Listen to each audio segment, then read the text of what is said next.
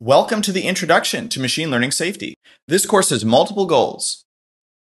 One of our goals is to get you to the research forefront in machine learning safety. We'll talk about well established areas of machine learning safety, as well as some nascent research topics that are still developing.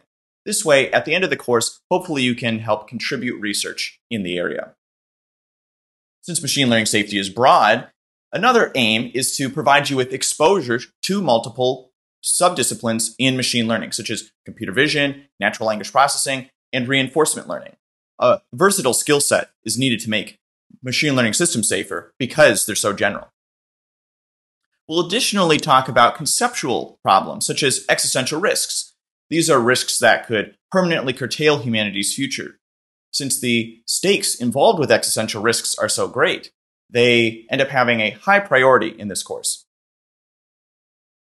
We'll additionally take conceptual foundations from other areas, such as complex systems, to think about how to make machine learning systems safer.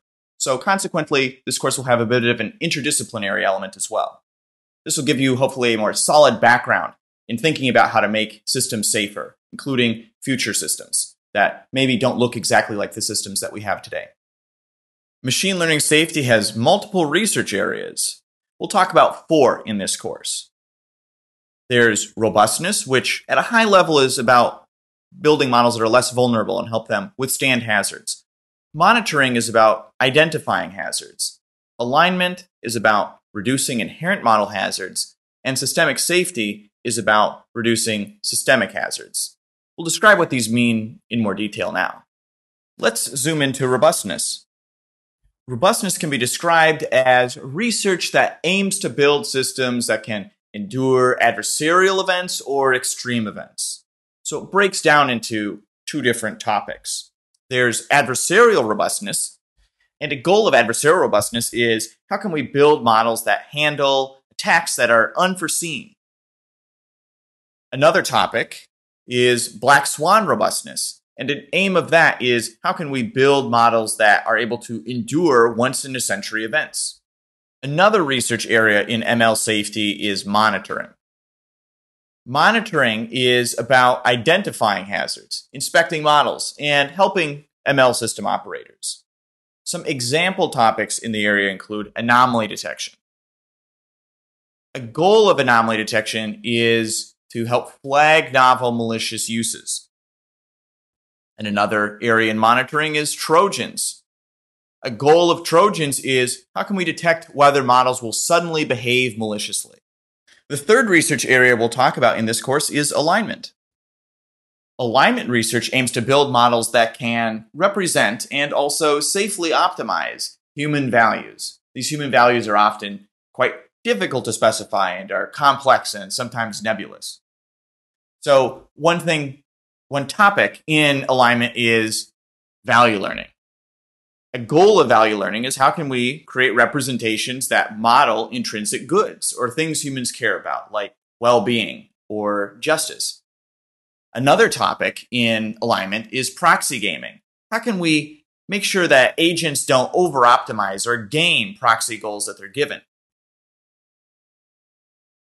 We're treating in this course alignment as a subset of safety. This is because people could maliciously align a model, and that wouldn't make us safe. So there's more to safety than just alignment. Last, let's look at systemic safety. This line of research aims to reduce broader contextual and systemic risks that involve how machine learning systems are handled.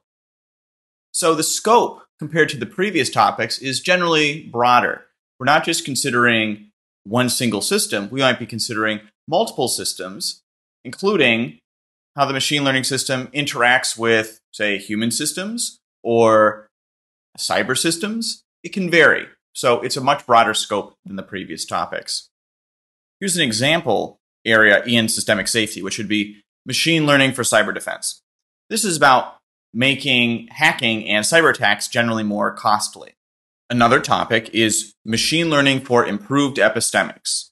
A goal of this is to improve the decision making of political leaders and executives since they are influencing the machine learning systems, the quality of their decisions and how they want to direct these models will definitely impact the ultimate safety of these models.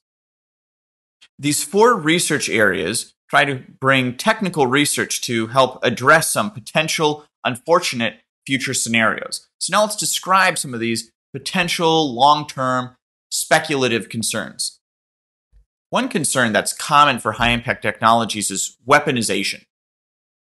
Malicious actors could repurpose AI to be highly destructive, and this could be an on ramp to other catastrophic or even exp- existential risks. Even deep reinforcement learning methods and ML based drug discovery have been successful in pushing the boundaries of aerial combat and chemical weapons, respectively. Another concern is enfeeblement. Enfeeblement can occur if know how erodes by delegating increasingly many important functions to machines. In this situation, humanity loses the ability to self govern and becomes completely dependent on machines, not unlike scenarios in the film WALL-E. Similarly, eroded epistemics would mean that humanity would have reduction in rationality due to a deluge of misinformation. Or there could be highly persuasive, manipulative AI systems. Another concern is proxy gaming.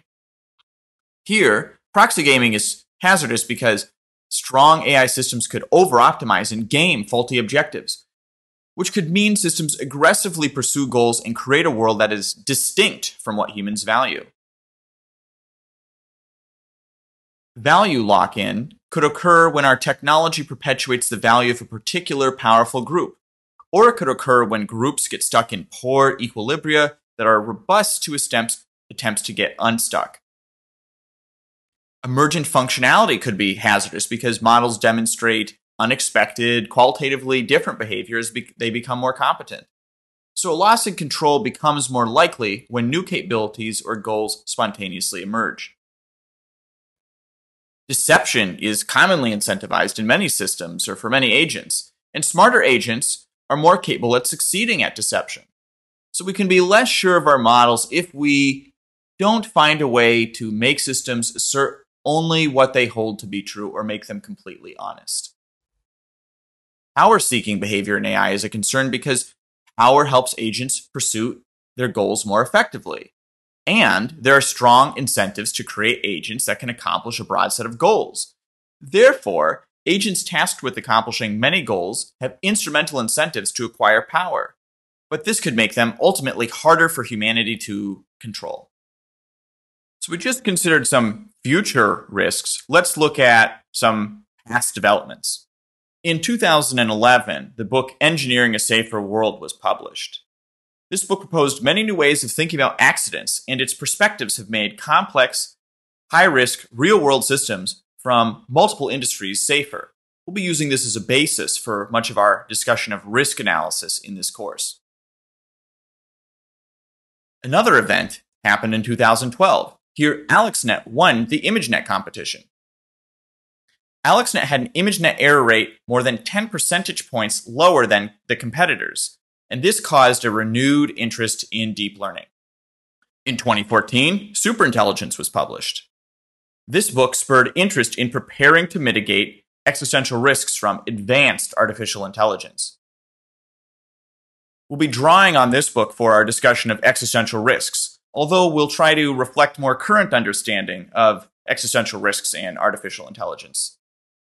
In 2016, there were multiple new efforts toward reducing existential risks from AI, and the approach was to use empirical research. Consequently, researchers proposed many speculative empirical research directions, such as negative side effects, or robust human imitation, mild optimization, etc. Several years later, it's 2022. Many of the research directions proposed in 2016 didn't end up turning out. But now that we have much more information about what's promising and which areas are dead ends, we can present you with this course, where we'll discuss a refined and consolidated collection of empirical research directions aimed toward making machine learning systems safer, and especially safer in the long term. While taking the course, there are some details to keep in mind. One is that this is a research topics course, so we'll expect a solid background in both machine learning and deep learning. If you haven't taken either of those courses, we'd strongly recommend preliminarily studying that before taking this course. There are programming, reading, and conceptual assignments throughout this course. So we're not just going to be having reading assignments as would typically happen in a research topics course. We have several modules. First is hazard analysis, where we'll discuss how can we make systems in general safer and how can we understand risk. Then we'll jump into more specific machine learning topics such as robustness. Then we'll talk about monitoring, alignment, and systemic safety. At the end, we'll close by having some additional conceptual discussion about existential risk. Okay, let's get started with the course.